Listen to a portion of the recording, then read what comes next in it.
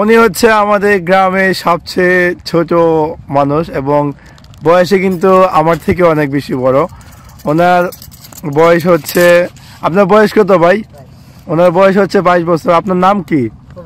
কবির হোসেন আমাদের ওনার যে বাসস্থান হচ্ছে ব্রাউনবেড়ার একটি গ্রামের নাম চান্দি এবং সেই গ্রামে উনি থাকেন।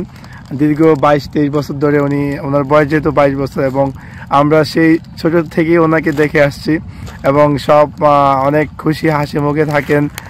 আফটার অল উনি অনেক হ্যাপি এবং আমরা অনেকে ওনার সাথে অনেক মজা করি এবং উনিও অনেক ধরনের ফান করে আমাদের সাথে। তো ভাই, আপনার কি করতে ভালো লাগে? আপনার এই যে বারো, বাইশ বছর আপনি পার করলেন, কি কি সমস্যার সম্মুখীন হয়েছেন বা কেমন লাগতেছে? মানে আপনার কি এরকম কিছু ফিল হয় যে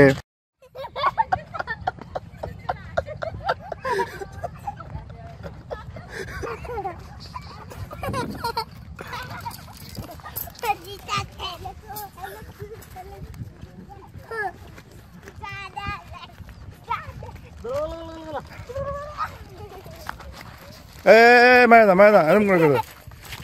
তুমি যাও তুমি যাও তুমি যাও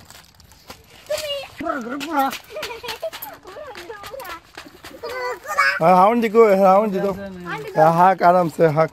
এনে বো বো। বসো বসো। কবির তুমি সপ্তাহে শেভ করো নি? শেভ টেপ করো না। কথা বলো। তো এই খাবারগুলা পেয়ে তুমি খুশি নি? আর কিছু খাবা তুমি? হুম ঠিক আছে তুমি খুশি থাকলে আমরা খুশি। কথা বলো কথা বলো।